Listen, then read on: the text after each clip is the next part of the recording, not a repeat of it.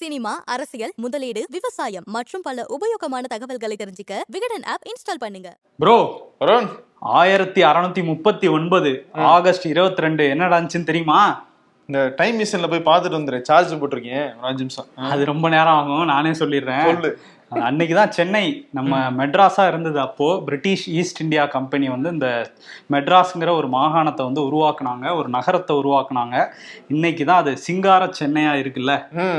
வந்தாரை வாழ வைக்கும் தமிழ்நாடு அப்படின்னு சொல்லுவாங்க. தமிழ்நாட்டுக்குள்ள உள்ள அந்த வெளி மாவட்டங்கள்ல இருந்து வந்தாரை வாழ வைக்கும் சென்னையா இருந்துகிட்டு இருக்கு. முன்னூத்தி எண்பத்தி நாலாவது பிறந்த தினம் இன்னைக்கு சென்னைக்கு. Happy birthday to you Chennai சொல்லிட்டு. சென்னைனாலே. என்ன அதுக்கு ஒரு அடையாளம் இருக்கும்ல. அது அடையாளமே என்னன்னா எந்த அடையாளத்தையும் நீங்க கழட்டி வச்சுட்டு வாங்க அப்படிங்கறதா சென்னையினுடைய அடையாளம். சூப்பரா சொன்னீங்க. கரெக்ட். இங்க. வந்து எந்தவித வேற்றுமையோ உங்களுக்குள்ள இருக்கலாம் அந்த எண்ணங்கள்லாம் சாதி மத விபேதங்கள்லாம் உள்ள இருக்கலாம். ஆனா வெளியே காட்ட முடியாது. இங்க யாரும் யார் உதவி இல்லாம இந்த ஊர்ல வாழ முடியாது அப்படிங்கிறது தான் சென்னையினுடைய ஹைலைட்டு. இன்னும் இந்த எக்மோர் ஸ்டேஷன்லலாம் தென் மாவட்டங்கள்ல இருந்து பல இந்தியா தமிழ்நாட்டின் பல மாவட்டங்கள்ல இருந்து ரொம்ப சாதாரண நிலைமையில வந்து இறங்குனவங்க இன்னைக்கு வந்து சென்னையில இருந்து ஒரு முக்கியமான இடத்துல இருக்காங்க. இந்திய அளவுல உலக அளவுல வந்து வளர்ந்துருக்காங்க. இப்படிப்பட்ட பெருமைக்குரிய நகரம் சென்னை. ஆமா உச்ச நட்சத்திரங்களா இங்க மின்னி இருக்கிறாங்க. பல பேர் சென்னைக்கு வந்தவங்க. எப்பயுமே சென்னை வந்து மக்களை நம்பி வர மக்களை வந்து கைவிட்டதே கிடையாது. அதனால சென்னை நம்மளையும் சேர்த்து தான் நம்மளுமே. இங்க தான் வந்தோம் வந்து. இங்க வேலை பார்த்துட்டு இருக்கிறோம் ஆமா இப்ப இந்த வீடியோ பேசி வீடியோ பேசிக்கிட்டு இருக்கிறோம் ஆனா இன்னொருத்தர் வந்து சென்னை வந்து ஹாட் ஆக்கியிருக்காரு. அவர் யாருன்னா வந்து பீகார்ல இருந்து வந்தவர். இன்னைக்கு திரும்ப லைம் லைட்டுக்கு வந்திருக்கிறாரு. என்ன பண்ணாரு அப்படிங்கறத பாத்துடலாமா பார்த்துருவோம். ஓகே ஷோக்குள்ள போயிடலாம். Welcome to the imperfect show பீகார்ல இருந்து வந்தாரு அப்படின்னு சொன்னோம்ல. யாருன்னா ஆளுநர் ஆர் என் ரவி. அவர் வந்து கொஞ்ச நாளா அமைதியா இருந்தாரு. ஏதாவது சம்பவம் பண்ணுவார்ல? பண்ணியிருக்காரு. ஆனா ரெண்டா சேர்த்து பண்ணியிருக்காரு. தனித்தனியா பண்ணிட்டு இருந்தாரு இப்ப ரெண்டு சம்பவத்தை சேர்த்து பண்ணியிருக்காரு. முதல் சம்பவம் என்னன்னா டிஎன்பிஎஸ்சி அந்த தமிழ்நாடு அரசு பணியாளர் தேர்வாணையம். அதோட தலைவர் வந்து இல்லாம இருக்கிறாங்க இப்போ. அதுக்கு வந்து ரிட்டையர் ஆனார்ல ஜூன் முப்பதாம் தேதி டிஜிபியா இருந்து பணி ஓய்வு பெற்ற சைலேந்திர பாபு வந்து தமிழ்நாடு அரசு நியமனம் பண்ணி அந்த கோப்புகளை வந்து ஆளுநர் மாளிகைக்கு அனுப்பிச்சு வச்சாங்க. அந்த கோப்பை வந்து இப்ப திருப்பி அனுப்பிச்சிட்டாரு ஆர் இல்ல அவர் அந்த கோப்பு நினைச்சு தான் அனுப்புனாரா? இல்ல வழக்கம் போல நீட் அந்த மாதிரி ஏதோ மசோதா அனுப்புறாங்கன்னு அனுப்பிட்டாரா? இல்ல அவர் கோப்புன்னு தெரிஞ்சுதான் அனுப்பிச்சிருக்காரு. ஏன்னா சில கேள்விகள்லாம் கேட்டிருக்கதாவும் சொல்றாங்க. என்ன கேட்டிருக்காருன்னா இதை நீங்க எப்படி எந்த அடிப்படையில செலக்ட் பண்ணீங்க? உச்சநீதிமன்றத்தோட அந்த விதிமுறைகள்லாம் நீங்க பின்பற்றவே இல்லை அப்படிங்கிற குற்றச்சாட்டை வச்சிருக்காராம். அந்த டிஎன்பிஎஸ்சிக்கு வந்து 62 ரெண்டு வயசு வரையும் தான் ஒருத்தர் தலைவரா இருக்க முடியும். இவருக்கு அறுபத்தோரு வயசு ஆயிடுச்சேங்கிற மாதிரியான கேள்விகளும் அதுல இருக்குங்கிற மாதிரி சொல்றாங்க. இன்னும் தமிழ்நாடு அரசு தரப்புல இருந்து அதை வெளிப்படையா இன்னும் பேசல. பேசினதுக்கு அப்புறம் நம்ம அதை பத்தி டீட்டெயிலா பேசலாம். ஆனா வந்து அந்த சைலேந்திர பாபுவை நியமிக்க முடியாது அப்படிங்கிற மாதிரி சில கேள்விகள் கேட்டு திருப்பி அனுப்பிட்டாரு. ஆல்ரெடி அவர் பதவியில இருக்கும்போதே ஏகப்பட்ட வாய்க்கா தகராறு இருந்துச்சு நிறைய குற்றச்சாட்டுகளை வச்சிட்டு இருந்தாரு. ஆமா. இன்னொரு பக்கம் ஆளுநர் பண்றது எப்படி இருக்குன்னா காலங்காலமா மூட்டை பூச்சி வந்து சப்புன்னு அடிச்சு கொண்டுகிட்டு இருக்காங்க. இவர் நவீன மிஷின் கண்டுபிடிக்கிற மாதிரி.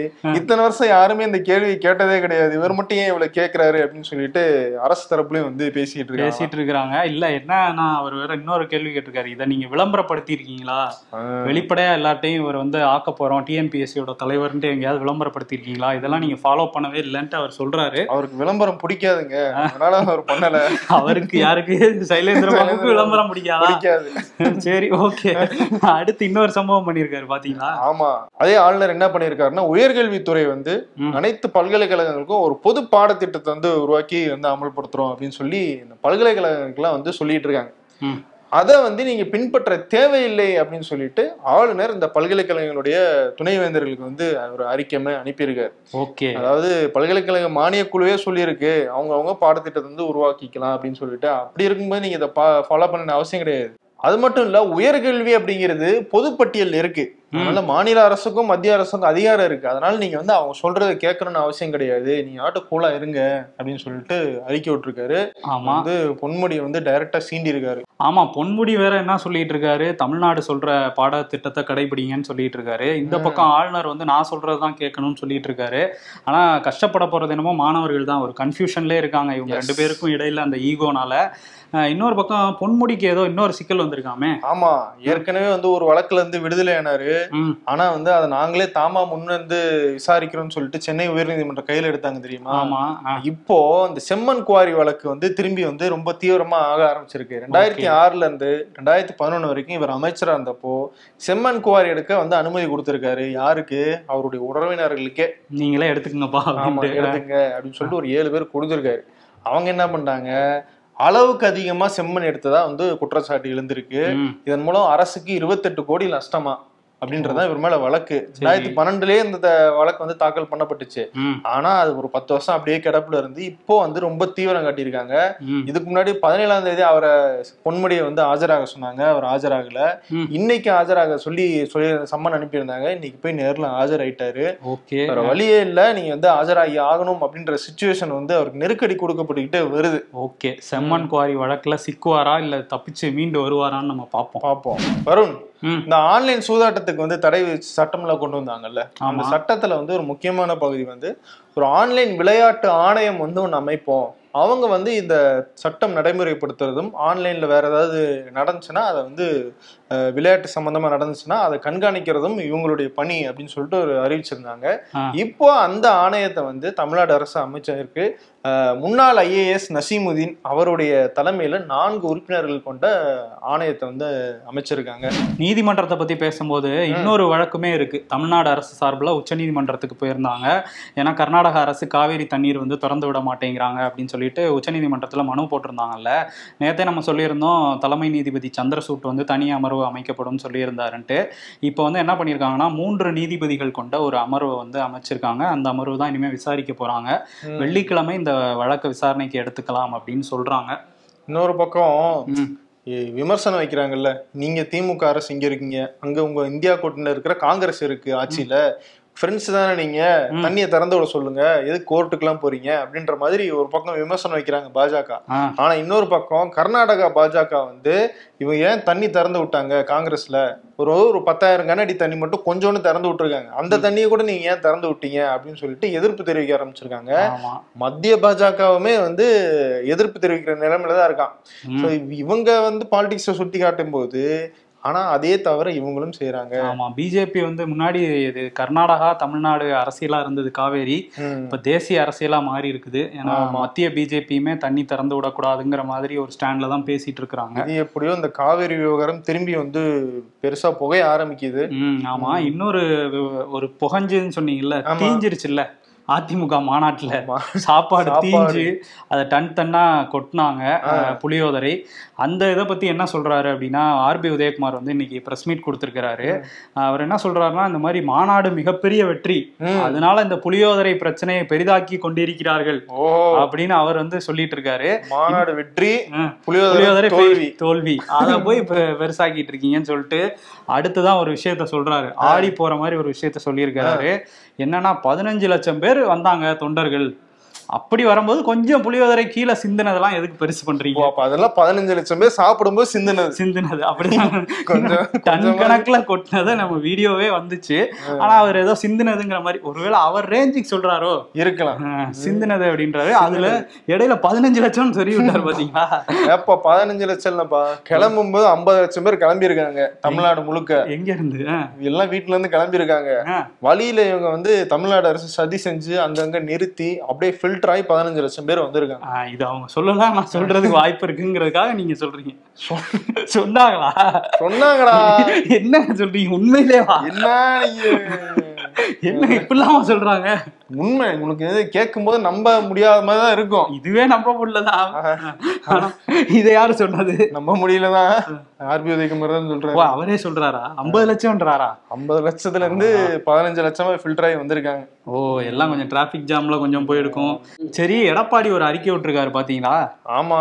என்னன்னா அந்த அதிமுக மாநாட்டுக்கு வந்துட்டும் வரும்போதும் சரி போகும்போதும் சரி பல்வேறு காரணங்களால ஒரு எட்டு பேர் உயிரிழந்துட்டாங்க. அதிமுகவினர் அவங்களுடைய குடும்பங்களுக்கு ஆறு லட்சம் ரூபாய் வந்து நிவாரண நிதி வந்து அறிவிக்கிறேன்னு சொல்லியிருக்காரு. அதே மாதிரி ஆக்சிடென்ட் ஆனவங்க. வந்துட்டு போகும்போது ஆக்சிடென்ட் ஆன கொஞ்சம் பேருக்கு வந்து ஒரு லட்சத்தி ஐம்பதாயிரம் படுகாயம் அடைஞ்சவங்களுக்கு காயமடைந்தவங்களுக்கு ஐம்பதாயிரம் வந்து நிவாரண தொகை வந்து அறிவிக்கிறதா சொல்லியிருக்காரு. ஓகே. ஆனா வந்துட்டும் போகும் போதுமா அங்க எதுவும் கிடக்கல. ஆமா மாநாட்டுல எதுவும் நடக்கலங்கிற மாதிரி அவர் ஒரு விஷயம் சொல்றாரு. நமக்கு தகவல் வந்துச்சுல. ஆமா தள்ளு முள்ளுல ஒரு சிலர் வந்து அங்கேயே இறந்ததாகவும் தகவல் வந்துச்சு. இன்னொன்னு சிலர் வந்து போதையிலையும் ரொம்ப இருந்ததுனாலையும் இந்த விபத்துக்கள் நடந்திருக்கலாம் அப்படிங்கிற மாதிரியும் சொல்றாங்க. ஓகே. எடப்பாடி இப்படி சொல்லியிருக்கிறாரு. அப்படியே வேளச்சேரிக்கு வந்தோம்னா குருநானக் காலேஜ் இருக்குது. அந்த கல்லூரியில வந்து வெள்ளிக்கிழமை ஒரு சண்டை நடந்திருக்கு. ஏன்னா ஒரு மாணவியை வந்து பாட்டு பாடி சில மாணவர்கள் கிண்டல் கிண்டல் பண்ணிட்டதா சொல்றாங்க. மூன்றாம் ஆண்டு படிக்கிற ஆர்ட்ஸ் கல்லூரி மாணவர்கள். இதுல வந்து அந்த மாணவியோட நண்பர்கள் சிலர் வந்து இதை தட்டி கேட்க ரெண்டு மாணவர் தரப்புக்கும் மோதல் ஆயிருக்குது அன்னைக்கு ஒரு மாதிரி சத்தம்லாம் கேட்ட ஆசிரியர்களாம் வந்து அவங்கள வீட்டுக்கு அனுப்பிச்சு வச்சுட்டாங்க. ரெண்டு நாள் லீவு முடிஞ்சிட்டு திங்கக்கிழமை வந்து அந்த கிண்டல் பண்ணாங்கல்ல அந்த. குரூப் வந்து என்ன பண்ணியிருக்காங்க வெடி அதாவது வெங்காய வெடி டைப்ல ஒரு வெடியை எடுத்துட்டு வந்திருக்கிறாங்க. வந்து அந்த மாணவர்களை திரும்ப போய் தாக்கலாம்னு சொல்லிட்டு. ஒரு வெடியை மட்டும் அப்படி வீசியிருக்காங்க. அது வெடிச்சிருக்கு ஆனால் யார் மேலேயும் படலை எந்த காயமும் இல்லை. இந்த வெடி சத்தம் கேட்டோன்னே அந்த வீசின மாணவர்கள் வந்து தப்பி ஓடிட்டாங்க. இப்போ இது பெரிய பிரச்சனையா இருக்கு நாட்டு வெடிகுண்டு வெடிச்சிருச்சு அப்படிங்கிற மாதிரி செய்திகள் வந்து வெளியே வர ஆரம்பிச்சுது. இதுல வந்து எடப்பாடி என்ன பண்ணாருன்னா ஒரு அறிக்கை விட்டார். சென்னையில பட்டப்பகல்ல நாட்டு வெடிகுண்டு வீசிட்டாங்க. இந்த மாதிரி தான் இருக்கு அப்படின்னு சொல்லி அறிக்கையெல்லாம் விட்டோன்னே இங்க காவல்துறை தரப்புல இருந்து தெற்கு மண்டல கூடுதல் கமிஷனர். பிரேமானந்த் சின்ஹா அவர் வந்து பேசியிருக்காரு. இது நாட்டு வெடிகுண்டெல்லாம் இல்ல. கோயில் திருவிழாக்கள்லாம் யூஸ் பண்ற ஒரு பட்டாசு டைப்பான ஒரு வெடியை தான் வீசியிருக்கிறாங்க. நாட்டு வெடிகுண்டுன்னு தவறா வந்து இது பண்ணாதீங்க அப்படின்னு சொல்லிட்டு சொல்லியிருக்காரு. அந்த மாணவர்களில் ஒருத்தரை நாங்கள் பிடிச்சிட்டோம். வீசினது ரெண்டு பேர். ஒருத்தரை பிடிச்சிட்டோம். இன்னொருத்தரை தேடிட்டு இருக்கோம் அப்படின்னு சொல்லியிருக்காங்க. கல்லூரி நிர்வாகமே வந்து அது பட்டாசு தான். நாங்கள் பதினெட்டு மாணவர்களை வந்து சஸ்பெண்ட் பண்ணியிருக்கோம் அப்படின்னு இந்த விவகாரம் தொடர்பாகன்னு சொல்லியிருக்கிறாங்க. ஸோ இதுதான் நடந்தது. அதுதான் திமுகலேருந்து புரட்சி தமிழர் ஏன் அவசரப்பட்டீங்கன்ட்டு ஓட்டிட்டு இருக்கிறாங்க. இருந்தாலும் மாணவர்கள் வந்து இந்த மாதிரி செயல்களில் ஈடுபடுறது வந்து தவிர்க்கணும். கண்டிப்பா. ஏன்னா வந்து இந்த மாதிரி வன்முறை கலாச்சாரம் வந்து எங்க இருந்தாலுமே வந்து தவிர்க்கப்படணும் தான். வெடிங்கிறது ரொம்ப மோசமான விஷயம் தான். கையில் அந்த பட்டாசா இருந்தால் கூட அதை கொண்டு வந்து அடிக்கணுங்கிற அளவுக்கு ஒரு மைண்டில் போகுதுங்கிறதே தப்பான விஷயம்தான் ஸோ இதெல்லாமும் அரசு வந்து கவனத்தில் எடுத்துக்கணும். அந்த கல்லூரிகளுமே ஆசிரியர்களுமே கவனத்தில் எடுத்துக்கணும். கண்டிப்பா. என்ன வருண்? ம். என்ன இப்படி சொல்லிவிட்ட நீ? யார? ரஜினி தான். ஐயோ நான் எதுவும் சொல்லல. சோஷியல் மீடியாவில் சொன்னதை சொன்னோம். அப்படியா. அதான் வந்து எல்லாம் பேச்சு வந்துச்சுல ஏன் வந்து யோகி ஆதித்யநாத் காலில் போய் விழுந்தீங்க? அப்படின்ற விமர்சனம் வந்துச்சுல. அதுக்கு பதில் சொல்லியிருக்காரு. சன்னியாசி அப்படின்ற அடிப்படையில நான் வந்து அவர் காலில் விழுந்தேன். எந்த சன்னியாசியை பார்த்தாலும் நான் காலில் விழுவேன் அப்படிங்கிறாரு. அப்படிங்கிறாரா. ஓகே. எதுதான் அவங்க கேட்குறாங்க சன்னியாசினா அவர் முற்றும் துறந்தவரா இருப்பாங்க. இவர் யூபியோட உச்சபட்ச அதிகாரத்துல ஏன் ரூம்ல நல்ல சொகுசு கார்ல வந்து போறாரு? வந்து போறாரு. சன்னியாசியா இருக்க முடியும் அப்படின்னு கேக்குறாங்க. அப்படின்னு கேக்குறாங்க. இன்னொரு பக்கம் வந்து கொஞ்ச நாள் முன்னாடி ஒரு வீடியோல பேசியிருந்தாரு. நான் வந்து இஸ்லாமியர்கள் வந்து ஒடுக்கப்படுறாங்கன்னு சொல்றாங்க. அப்படி ஒடுக்கப்பட்டா முதல் குரல் என்னோடதா தான் இருக்கும். இந்தியால ம். இஸ்லாமியர்களுக்கு அச்சுறுத்தல் இல்லை அப்படின்னு பேசினார்ல அதை போட்டுட்டு யூபியில் இஸ்லாமியர்களோட வீடை வந்து புல்டோசர் வச்சு இடிக்கிறாங்க. அப்படிங்கிறதையும் சொல்லி ரஜினியை விமர்சனம் பண்ணிட்டு இருக்கிறாங்க. இன்னொரு பக்கம் அவருக்கு ஆதரவு குரல்களுமே இருக்குது. ஆனா இன்னொரு விஷயம் வந்து சர்ச்சையா இருக்கு. அவர் இப்போ இங்க வந்துட்டாரு தமிழ்நாட்டுக்கு. ஆனா ரீவைண்ட் பண்ணி போனோம்னா நேத்து யூபில ஒருத்தரை பார்த்திருக்காரு. ராஜா பையா அப்படிங்கிறவரு. இவர் எம்எல்ஏ ரொம்ப நாளா இண்டிபெண்ட் எம்எல்ஏவா இருந்தாரு. இப்போ. சமீபத்துல ஒரு கட்சி ஆரம்பிச்சிருக்காரு. ஜன்சதா தல் அப்படின்ட்டு ஒரு கட்சி. அந்த கட்சியோட எம்எல்ஏ இவர். இவரை போய் பார்த்திருக்காரு ரஜினிகாந்த். ரஜினிகாந்துக்கு வந்து இவர் வந்து ஒரு கங்கையோட புனித நீரையும் விபூதியையும் வந்து கொடுத்து அனுப்பிச்சிருக்காரு சரி. இவர்கிட்ட எப்படி சர்ச்சையாச்சு அப்படின்னா இவர் மேல பொடா சட்டத்துல வந்து கைது பண்ணப்பட்டிருக்காரு. அது மட்டும் இல்லாம இவர் மேல நிறைய கொலை வழக்குகள் இருக்கு. அதுல வந்து ஒரு டிஎஸ்பி அதாவது ஒரு ஐபிஎஸ் அதிகாரியே கொலை பண்ணிட்டாரு. கொலை பண்ற வழக்குல இவருக்கு தொடர்பு இருக்குங்கிற பேச்சுமே அங்க இருக்குது. இந்த வழக்கெல்லாமும் இருக்கு இன்னும். அவர் சன்னியாசி அவரு அவரு சன்னியாசி இல்ல அவர் காலையும் அவர் விழுகல. ஆனா வந்து அவர் இந்த வழக்கெல்லாம் இருக்கு இவரை போய் சந்திச்சிருக்காருன்னு சொல்லி அதுவுமே விமர்சனமாயிருக்கு ம். இன்னொரு விஷயம் சொல்றாங்க அந்த ராஜா பையா இருக்காருல்ல. அவர் வீட்டுக்கு பின்னாடி ஒரு குளம் வச்சிருக்காராம் அந்த குளத்துல வந்து முதலைகள்லாம் விட்டுருக்காராம் இவர் கொலை பண்றவங்க எல்லாம் அந்த முதலைக்கு தீனியா போடுறாரு அப்படிங்கிற மாதிரி அந்த இதுல ஒரு கதை வந்து யூபில ஓடிக்கிட்டு இருக்கு. இதை பத்தி அந்த ராஜா பையாவே பேசியிருக்காரு. அவர்கிட்ட கேக்குறாங்க. அவர் என்ன சொல்றாருன்னா ஏங்க முதலையெல்லாம் இல்லைங்க. குளத்துல வந்து மீன் தான் விட்டுருக்கேன். அப்படின்னு சொல்லி அவர் ஒரு விளக்கம் கொடுத்துருக்காரு. என்னப்பா அது ஜெயிலர் கதையோட வித்தியாசமான கதையா இருக்கு ஆமா இதை வச்சு ஒரு படம் எடுக்கலாம் போலயே நினைச்சிருப்பாரு ரஜினி. ஓகே மீன் சொன்ன உடனேதான் ம். இந்த மகாராஷ்டிராவுல அமைச்சர் ஒருத்தர். ஆமா விஜயகுமார் காவித் அப்படிங்கிறவர் வந்து மீன் சாப்பிட்டா கண்ணுக்கு நல்லதுன்னு சொல்லுவாங்க. இவர் ஸ்கின்னுக்கும் நல்லது அப்படின்றாரு. மீன் சாப்பிடுங்க. ஏன்னா வந்து நான் மீன் சாப்பிட்றேன். அதனால தான் நான் பளபளன்னு இருக்கேன். ஐஸ்வர்யா ராய் வந்து மங்களூர் கடலோரத்துல வாழ்ந்துட்டு இருந்தாங்க. அதனால நிறைய மீன் சாப்பிடுவாங்க. அதனால தான் அவங்க கண்ணு வந்து நல்லா சொல்றது பார்த்து கடல் கரையோரமே வாழ்ந்த மாதிரி சொல்றாரு அதான். இல்ல ஐஸ்வர்யா ராய் கண்ணு பளபளன்னு இருக்கிறது காரணமே மீன் தான். அதுல ஒரு ஆயில் இருக்கு அப்படின்லாம் சொல்லியிருக்காரு. அதுக்கு வந்து அவங்க கட்சி எம்எல்ஏ நிதேஷ் ராணா பிஜேபி தான் இவரு. பிஜேபி அமைச்சர் இவரு. பிஜேபி எம்எல்ஏ நிதேஷ் ராணா என்ன சொல்றாருன்னா நானும் தான் தினமும் மீன் சாப்பிடுறேன். ஆனா எனக்கு ஒன்றும் பல பலன்னு மாறலையே. இதுல ஏதாவது ஆராய்ச்சி பண்ணியிருக்காங்களா? நானே அவர்கிட்ட கேட்டுக்கிறேன் அப்படின்னு நல்ல ஒரு டாபிக் எடுத்திருக்காங்க. நல்ல ரிசர்ச் பண்ணி ஒரு விஷயம் பண்ணாங்கன்னா நல்லா இருக்கும். ஆமா, அமைச்சரா இருந்து எதையாவது பண்ணுங்கன்னு சொன்னா அதுதான் தேசியவாத காங்கிரஸ்ல சரத்பவார் தரப்புலன்னு சொல்றாங்க. பழங்குடியின நலத்துறை அமைச்சரா இருக்கீங்க. அதுக்கு ஏதாவது நலத்துறைக்கு நல்லா ஏதாவது பண்ணுவீங்களா? இங்க வந்துட்டு மீன் சாப்பிட்டா அது நல்லதுன்ட்டு இப்படிலாம் அற்பத்தனமா பேசிட்டு இருக்காதீங்கன்றாங்க. அதே மாதிரி மகாராஷ்டிரால இன்னொரு அமைச்சர் தாதா பூசே அப்படிங்கிறவரு வெங்காய விலை ஏறிடுச்சுங்க என்னங்க பண்றீங்க? அதை கட்டுப்படுத்துங்க. கட் முடியல. ரொம்ப அதிகமா இருக்கு அப்படின்னு சொன்னா விலை ஏறிடுச்சுன்னா அதை சாப்பிடாதீங்க. பாத்தீங்களா? செலவே மிச்சம் அப்படின்ற மாதிரி பேசியிருக்காரு. இது ஏற்கனவே கேட்ட மாதிரி அவங்க குரல் தான் இது. ஓ அங்க இருந்து நிர்மலா சீதாராமன் சொன்னாங்க. அதெல்லாம் சாப்பிட மாட்டேன் அப்படின்னாங்க. அதேதான். ஆனா வந்து இவர் வந்து ரெண்டு பேரும் ஒரே அமைச்சரவையில இருக்காங்க. இவர் சாப்பிடாதீங்கன்றாரு இவர் சாப்பிடுங்கன்றாரு. என்ன போங்கப்பா. நான் வருண் நாடாளுமன்ற செஷன்லாம் முடிஞ்சிருச்சு. நிறைய பதில் சொல்லி டயர்ட் ஆயிட்டார் போல இருக்கு. ஆமா ஒரு பிரதமர் நாள் ஒரு நாள் தான் பதில் சொன்னாரு. அதுலயே டயர்ட் ஆயிட்டதுனால நான் வெளிநாட்டுக்கு போறேன்ட்டு இன்னைக்கு கிளம்பியிருக்காரு. சவுத் ஆப்பிரிக்காவோட அந்த ஜொகனஸ்பர்க் நகர்ல வந்து பிரிக்ஸ் மாநாடு நடக்குது. பிரேசில் ரஷ்யா ஐக்கு இந்தியா சிக்கு சைனா எஸ்ஸுக்கு சவுத் ஆப்பிரிக்கா அப்படிதான் மனப்பாடம் பண்ணிட்டு வந்திருக்கான். ஆமா அந்த பிரிக்ஸ் மாநாட்டுல வந்து எல்லா நாட்டு தலைவர்களுமே கலந்துக்கிறாங்க. ஆனா வந்து புதின் மட்டும் நேரடியா கலந்துக்கல. நான் காணொலி வாயிலா கலந்துக்கிறேன் அப்படின்ட்டு இருக்காரு அதுக்கு வந்து அவங்க என்ன சொல்றாங்கன்னா ரஷ்யா தரப்புல ஒரு மாதிரி சமாளிக்கிறாங்க. போர் நடக்கும்போது அதிபர் நாட்டுல இருக்க வேண்டியது அவசியம்னு. ஆனா என்னன்னா அவருக்கு எதிராக வந்து இன்டர்நேஷனல் கிரிமினல் கோர்ட் வந்து அரெஸ்ட் வாரண்ட் வந்து பிறப்பிச்சிருந்தாங்கல்ல போர். குற்றம் புரிஞ்சாரு அப்படின்ட்டு. அதனாலதான் வெளியே வரமாட்டேங்கிறாரு நாட் அவுட் அப்படிங்கிற பேச்சுமே இருக்கு. இன்னொரு பக்கம் ஜி அங்க போயிருக்காருல்ல மூணு நாள் நடக்குது. இந்த மூணு நாள்ல ஏதாவது ஒரு நாள்ல ஜி ஜிங்பிங் இருக்கார்ல ஆமா. சீனாவோட அதிபர். அவரை தனியா சந்திச்சு இந்த மாதிரி எல்லை பதற்றத்தை பத்தி பேசுவார் அப்படின்னு வந்து சொல்றாங்க. ஓஹோ. அவர்கிட்ட அந்த சீனாங்கிற வார்த்தை அங்கேயாவது பயன்படுத்துவாரா? அது ரொம்ப கஷ்டம் தான் கஷ்டம். சி மட்டும் சொல்லிக்குவார் பிரிக்ஸ்ல அந்த சி மட்டும். இன்னொரு பக்கம் அந்த தேசிய கல்விக் கொள்கை இருக்குல்ல. தேசிய கல்விக் கொள்கை வந்து இந்தியா முழுக்க எப்படியாவது தீவிரமா வந்து அமல்படுத்திடணும்னு முயற்சியில பாஜக இருக்காங்க. ஆனா கர்நாடகால புதுசா வந்த காங்கிரஸ் அரசு என்ன சொல்லிட்டாங்க? நாங்க இந்த தேசிய கல்விக் கொள்கையை நிராகரிக்கிறோம் அப்படின்னு அறிவிச்சிட்டாங்க. இப்போவே ஒரு குழு அமைச்சு எங்களுடைய புதிய கல்விக் கொள்கையை வந்து உருவாக்க போறோம். அடுத்த வருஷமே அதை நாங்க இம்ப்ளிமெண்ட் பண்ண போறோம் அப்படின்னு சொல்லிட்டு துணை முதலமைச்சர் டி கே சிவகுமார் வந்து அறிவிச்சிட்டாரு. அபிஷியலாவே அறிவிச்சிட்டாரு. இதனால வந்து முன்னாடி அப்படி பேசிட்டு இருந்தாங்க. ஆல்ரெடி வந்து என்னன்னா நேரு பத்தின பாடங்கள்லாம் ரிமூவ் பண்ணிட்டு கோல்வாக்கர் அவங்கள பத்தின பாடங்கள்லாம் வந்து கர்நாடக பாடத்திட்டத்துல வந்து முன்னாடி சேர்த்துட்டு இருந்தாங்க பாஜக. ஆமா. அதெல்லாம் நாங்க நீக்கிறோம்னு முன்னாடி அறிவிச்சாங்க. இப்போ வந்து கல்வி கொள்கையாவே வந்து நாங்க வந்து மாத்துறோம் அப்படின்னு சொல்லியிருக்காங்க. சொல்லியிருக்கிறாங்க. இன்னொரு பக்கம் காங்கிரஸ் பத்தி பேசும்போது இந்தியா கூட்டணி அந்த கூட்டம் வந்து மும்பைல வந்து நடக்க போகுது. ஆகஸ்ட் முப்பத்தொன்னு செப்டம்பர் ஒன்னு. இந்த தேதியில நடக்கலாங்கிற மாதிரி சொல்லியிருக்காங்கல்ல. இதுல வந்து கெஜ்ரிவால் கலந்துக்க மாட்டாருங்கிற மாதிரி ஒரு டாக் இருந்துச்சு. ஏன்னா டெல்லியில வந்து ஏழு தொகுதியிலுமே நாங்க தான் போட்டியிடுவோங்கிற மாதிரி காங்கிரஸை சேர்ந்த சில நிர்வாகிகள் சொல்ல ஏ- ஆம் ஆத்மிக்கும் காங்கிரஸுக்கும் ஒரு சின்ன உரசல் வந்தது. ஆனா வந்து இப்போ அதை தெளிவுபடுத்தியிருக்காரு. நான் மும்பை கூட்டத்துல கண்டிப்பா கலந்துக்குவேன் அப்படிங்கிறத அரவிந்த் கெஜ்ரிவாலே வந்து தெளிவுபடுத்தியிருக்காரு. இன்னொரு பக்கம் நான் ரெண்டு பக்கமுமே இல்லைன்னு சொல்லிட்டு இருக்காருல்ல ஆமா யார சொல்ற? தெற்குல ஒருத்தர் இருக்காரு. ஆமா இந்தியாலையும் இல்ல அதாவது இந்தியா கூட்டணியில இல்ல என்டிஏ கூட்டணியிலன்னு சொல்ற கேசிஆர்.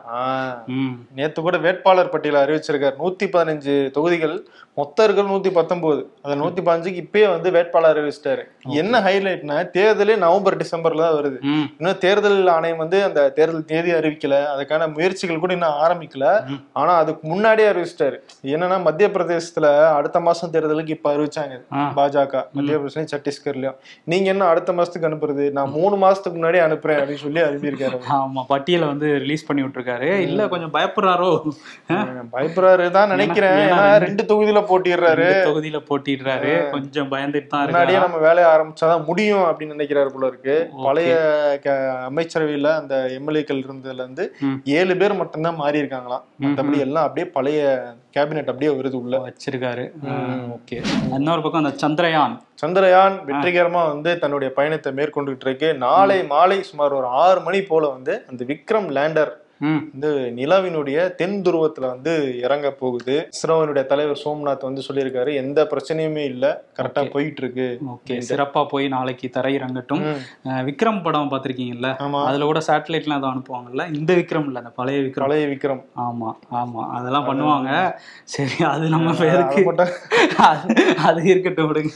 ஏதாவது இப்படி கண்டென்ட் பேசிட்டு தாங்க இருக்காங்க இழுத்துக்கிட்டே இருக்காங்க சரி ஓகே. அந்த செஸ் பிரக்யானந்தா அவர் வந்து நம்ம நேத்து வாழ்த்தினோம் அவர் வந்து வெற்றி பெற்று இன்னைக்கு இறுதிப் போட்டிக்கு போயிருக்காரு. கரெக்ட் நம்ம வாழ்த்துனதுனாலன்னு சொல்ல முடியாது. அவர் திறமையால போயிருக்காரு. ஸோ அந்த மேக்னஸ் கால்சனை வந்து இன்னைக்கு ஃபைனல்ஸ்ல வந்து மீட் பண்றாரு. எல்லாருமே வாழ்த்து சொல்லியிருக்காங்க. ராகுல் காந்தி ஸ்டாலின் சொல்லிட்டு மத்திய அமைச்சர்கள் நிறைய பேர் வாழ்த்து சொல்லியிருக்கிறாங்க. ஸோ அவர் கண்டிப்பா வெற்றி பெறுவார்னு நம்புவோம். நம்புவோம். இன்னைக்கு தான் அந்த இறுதிப் போட்டி. இன்னொரு தடவையும் வாழ்த்து சொல்லிடுவோம் யாருக்கு? அவருக்கு தான் யாருக்கு ஓ நம்ம வாழ்த்து சொல்லணும். ஓகே. பிரக்யானந்தா. சொல்றேன். பிரக்யானந்தாக்கு வாழ்த்துக்கள். வாழ்த்து.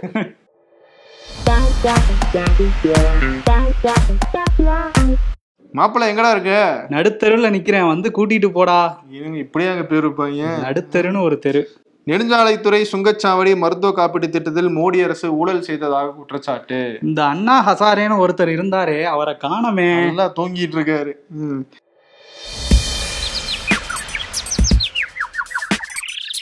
என் குழந்தைகளை எந்த சூழ்நிலையிலும் கஷ்டப்பட விடாம வளர்த்துட்டேன் அப்படிங்கிறது இல்ல சரியான குழந்தை வளர்ப்பு. ம், என் குழந்தைகள் எந்த கஷ்டமான சூழ்நிலையும் சமாளித்து வருவார்கள் என்பதே சரியான குழந்தை வளர்ப்பு. இப்ப நம்ம சமாளிச்சு இந்த ட்வீட்டை படிச்ச மாதிரி. ரஜினி உத்தரப்பிரதேச மாநிலத்துல இருக்கிற ஆளுங்கள் எல்லாம் சந்திக்கும் போது ஜெயிலர் கதை உண்மையோன்னு தான் தோணுது. இருக்குமோ? ம். அரசியல்ல இதெல்லாம் சாதாரணமாப்பா. விருதுக்கு வந்துட்டோம். சட்டுப்பட்டுன்னு விருது கொடுத்துட்டு போமா கொடுக்கலாம். எடப்பாடி கொடுக்கலாமா? ஐம்பது லட்சம் பேர் வந்திருக்காங்க? எடப்பாடிக்கு டெய்லி கொடுத்துட்டே. அதுக்கு ஈக்குவலா வந்து சோத்தை கீழே கொட்டியிருக்காரு. அதெல்லாம் கொடுக்க கூடாது ஆமா கொடுக்க கூடாது இன்னைக்கு வந்து ஒருத்தர் வந்திருக்காருல்ல சீனுக்கு. திரும்பி அனுப்பிச்சிருக்கிறாரு ஃபைல்ஸ அவருக்கே கொடுத்துடலாமா? மெட்ராஸ் டே அன்னைக்கு வந்திருக்காரு. ஆமா வந்திருக்கிறாரு. சென்னை டே அன்னைக்கு. சென்னை டே ஆனா அவருக்கு அது மெட்ராஸ் மெட்ராஸ் டே ஆமா. அது வந்து கோப்புகளை திருப்பி அனுப்பிச்சதுனால தமிழ்நாடு அரசு வந்து எந்த ஃபீல்ட்ல இருப்பாங்க? ஸ்டாலின் வந்து எந்த ஃபீல்ட்ல இருப்பாருன்னா கோப்பு முக்கியம் பிகிலு அப்படிங்கிற மாதிரி தான் இருப்பாரு. ஏன்னா அனுப்பிச்சா திரும்பி திரும்பி அனுப்பாதீங்க அப்படின்னு இருக்காரு. அது ரொம்ப முக்கியங்க. விடு. அப்பதான் வந்து நாங்க அடுத்து முன்னேறி போக முடியும் அப்படின்ற மாதிரி அவர் ஒரு ஃபீல்ட்ல இருக்காருல்ல. இவருமே அப்படிதான் இருப்பாரு. கோப்பு நீங்க ஒழுங்கு ஒழுங்கா அனுப்பல. அதனால கோப்பு முக்கியம் அப்படின்னு மாத்தி மாத்தி சொல்லிக்கிற ரெண்டு மாதிரி. பேரும் சொல்லிக்கிறாங்க. ரெண்டு பேருக்கும் போட்டு விட்டு விருதை கொடுத்துட்டு கிளம்பிடுவோமா கிளம்பிடுவோம் நன்றி. நன்றி. சினிமா அரசியல் முதலீடு விவசாயம் மற்றும் பல உபயோகமான தகவல்களை தெரிஞ்சுக்க விகடன் ஆப் இன்ஸ்டால் பண்ணுங்க. லிங்க் கீழே டிஸ்கிரிப்ஷன்ல இருக்கு. உடனே டவுன்லோட் பண்ணுங்க.